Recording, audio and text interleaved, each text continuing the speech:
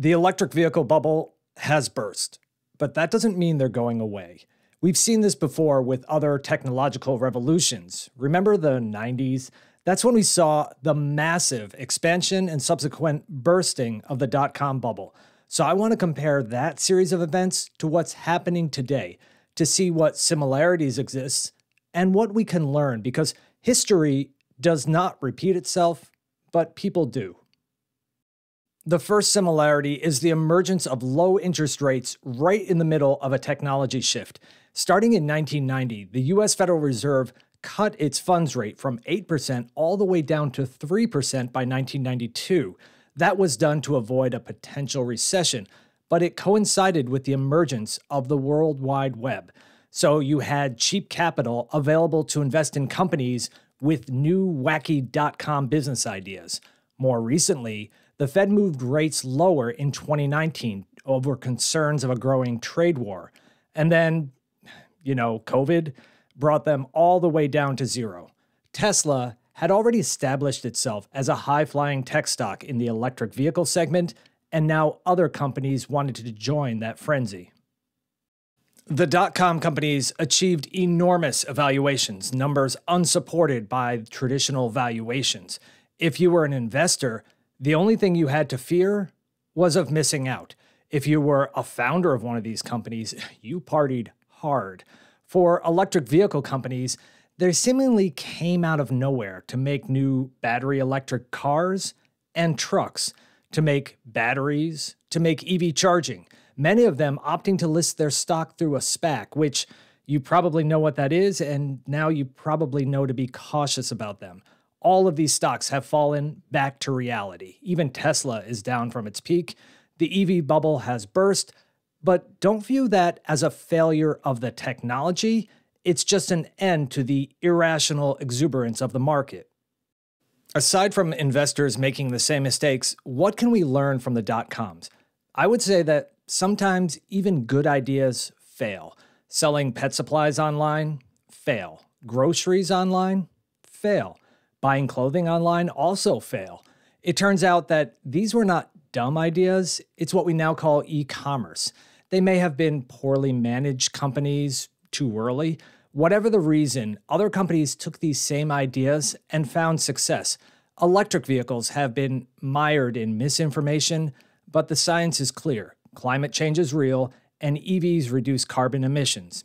Yes, yes, I know. Even when you take into account the manufacturing of the battery, and if you assume all the electricity comes from fossil fuels, they still produce less emissions because they're just more efficient than internal combustion engines. Legacy automakers will have to ease their customers offering hybrids. They're going to need plug in hybrids, maybe even gasoline powered range extenders for their battery electrics. But all of these powertrains are a move towards electric, and that's still the vision. It's just how do we get there and when.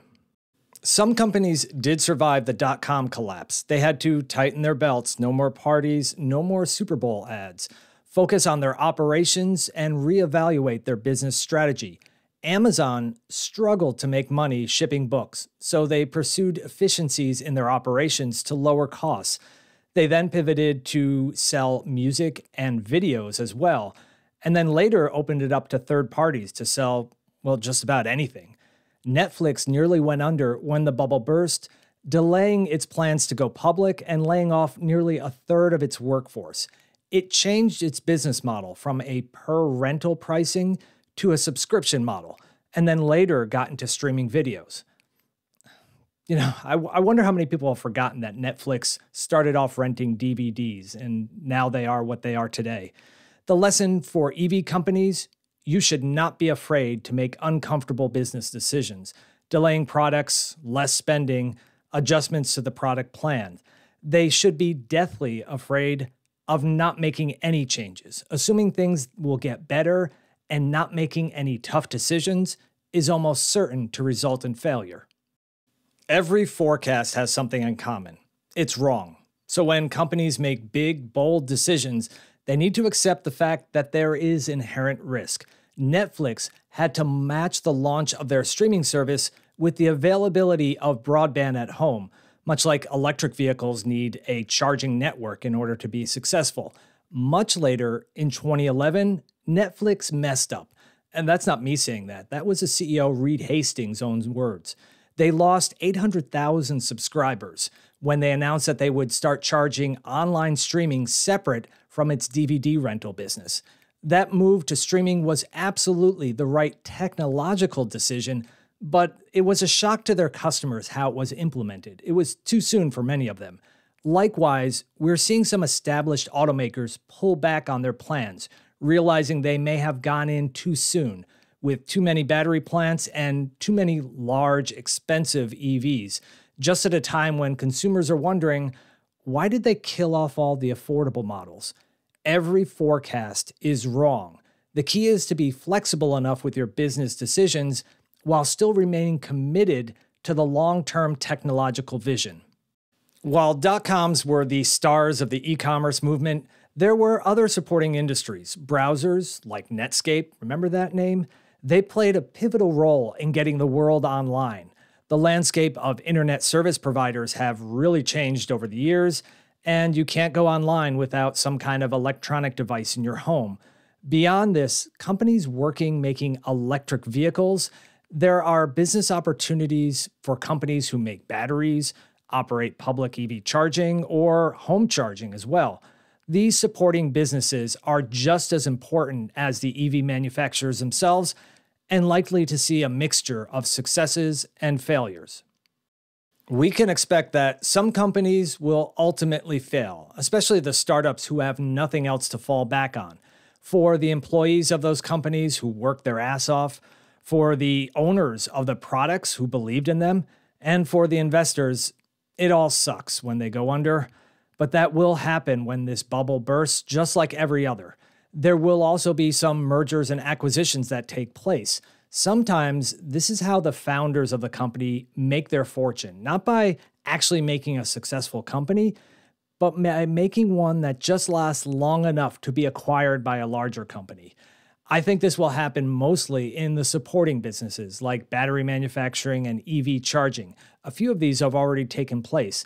History tells us that some of these will succeed under a new name, but many of them will just fade away into the new organization that absorbed them. Now that the bubble has burst, some companies are looking for buying opportunities, while others are seeking mergers out of necessity. And for those companies that get into trouble, we can expect them to fail and be replaced by other companies. The failure of Pets.com did not bring an end to dog and cat toys online. It just delayed it until someone else came along with a better run company. And this is why Western governments are concerned with China. They don't want cheap competition making it more difficult for these startups to survive. And they don't want the replacement companies to all come from China. Thus, tariffs and other restrictions are being put into place. And China is also concerned. They're sitting on a bubble of their own. I don't think it's popped yet and maybe it never will. They need to stimulate enough domestic consumption long enough until new markets open up and become ready to buy electric vehicles. Markets like South America and Southeast Asia.